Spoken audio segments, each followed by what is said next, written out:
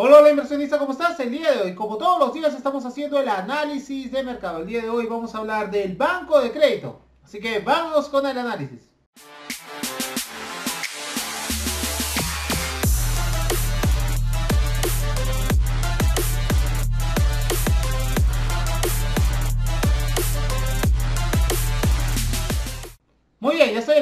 La Bolsa de Valores de Lima. Precio por acción del Banco de Crédito, 3.60 soles por acción.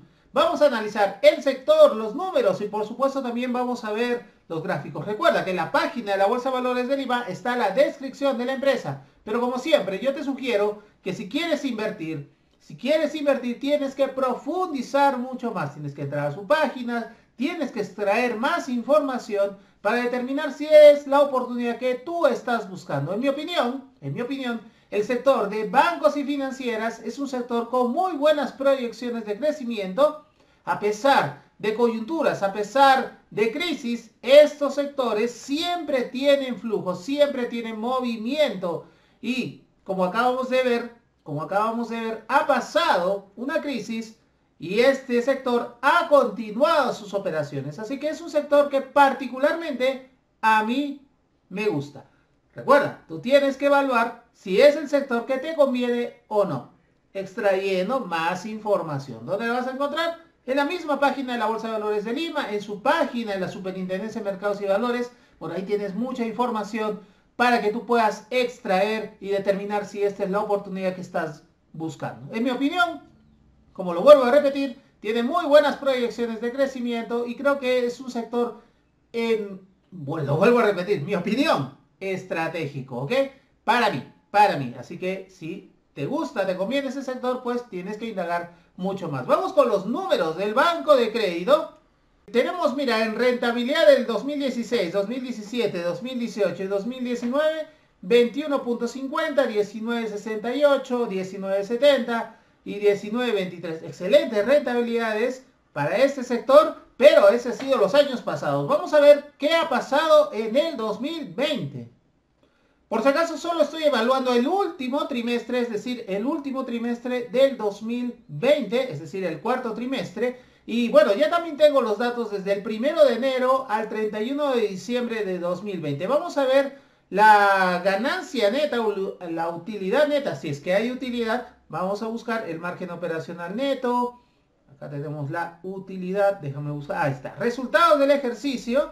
Acá resultados netos del ejercicio. 832 mil. Con respecto al 2019, 3.622.000.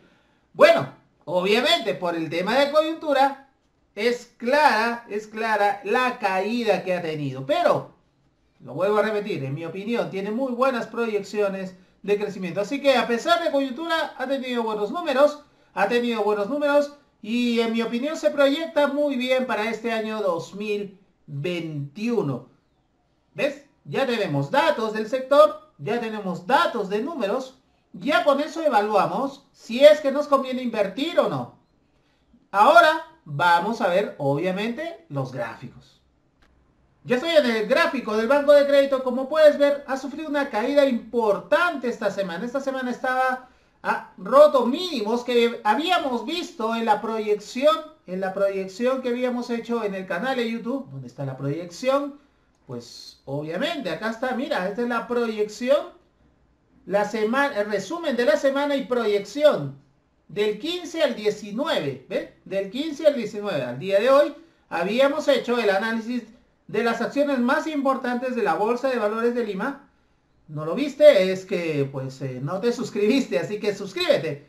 Porque mañana o el domingo ya estoy colocando el nuevo resumen y la nueva proyección para esta semana. Así que si quieres ver esa proyección, tienes que suscribirte al canal. Bueno, y ahí en la proyección habíamos detectado también algunos movimientos hacia el alza si es que no rompía la zona de mínimos. Si rompe la zona de mínimos, la proyección era bajista. Y bueno, ya lo habíamos detectado, ¿no? Mira, fíjate, ya habíamos detectado. Si rompe la zona de mínimos, la probabilidad sería bajista. ¿A qué zona? 3.49, se está proyectando 3.49. Vamos a ver si llega ahí. Una caída muy fuerte que ha tenido toda esta semana. Mira, toda la semana ha sido bajista. Ha roto mínimos en 3.65 y ya llegó a 3.60 y la probabilidad es que todavía caiga un poco más. 3.49 podría ser una caída importante que podría tener ahí. Hay que evaluarlo, vamos a ver la, la, semana cómo va, pero la semana, bueno, la semana que viene cómo va. Y de acuerdo a eso, pues determinaríamos si podemos entrar en alguna operativa con el banco de crédito. En mi opinión, puede caer todavía a la zona de 3.49. Si no es así, podría estar acumulando en esa zona de 3.60 y nuevamente impulsar hacia el alza. Fíjate que ha hecho una acumulación acá también importante y después impulsó. Puede ser, ¿ok? Puede ser. ¿Cómo está? ¿Cómo está la acción ahora? ¿Cómo se está moviendo la acción en la sociedad gente de bolsa? ¿O cómo están las propuestas de compra y de venta? Pues en, en, la sociedad gente de bolsa. Vamos a verlo, ¿ok? Muy bien, ya estoy en la página de la Sociedad Gente de Bolsa con la que estoy haciendo mis operaciones de compra y de venta. Y como podemos ver, las propuestas de venta son mucho mayores a las de compra. Las propuestas de venta se acercan demasiado al precio de 3.60 y eso me indica de que hay una gran probabilidad todavía de que el precio empiece a caer un poco más. Así que, la verdad, mm, en mi opinión, va a seguir cayendo. Así que voy a esperar un poco más. Vamos a ver hacia dónde cae.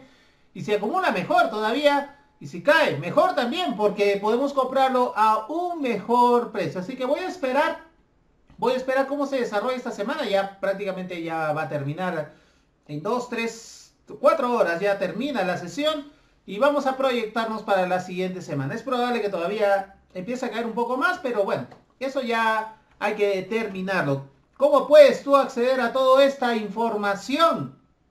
Pues muy sencillo, suscribiéndote al canal y si ya quieres llevar tu inversión al siguiente nivel, pues espero mi curso taller de bolsa de valores, donde te voy a enseñar todo, todo esto.